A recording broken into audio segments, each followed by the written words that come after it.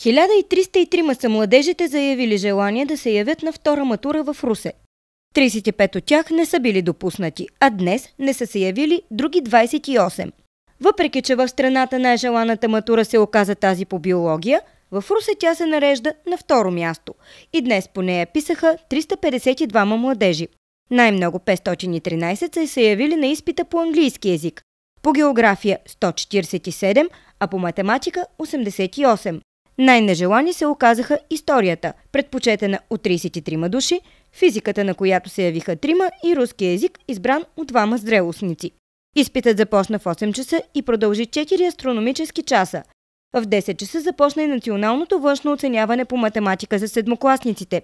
Изпитът се състои от два модула. Първия съдържа 20 задачи от два вида с структуриран или свободен отговор. Продължителността му е 60 минути, а максималният брой точки, който могат да получат учениците е 65.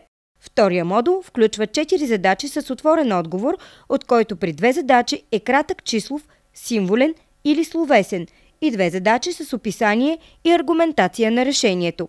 Продължителността на този модул е 90 минути, а правилното решение на задачите носи 35 точки. Максималният резултат от двата модула за седмокласниците е 100 точки.